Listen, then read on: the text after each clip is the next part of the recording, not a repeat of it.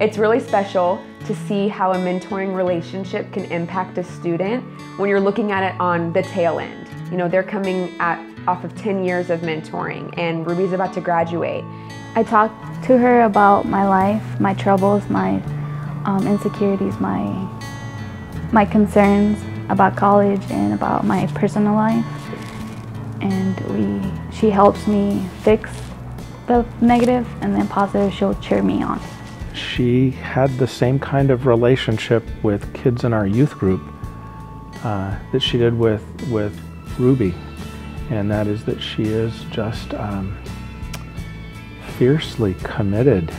Also, I nominated um, Debbie just because of what she's done behind the scenes with her church. They've helped with a snack program for our football boys that aren't able to afford um, food before their football games. She's They've helped with our holiday assistance. They've helped buy me backpacks. They've helped buy shoes. They and I also um, helped build a wheelchair ramp for one of our students. So, very big supporters of our school.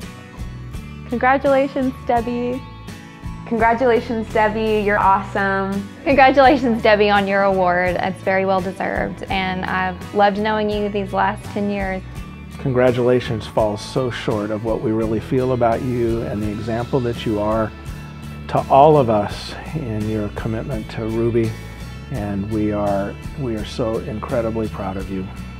Congratulations, Mrs. Debbie, for winning the Volunteer of the Year. Thank you for guiding me to the right path.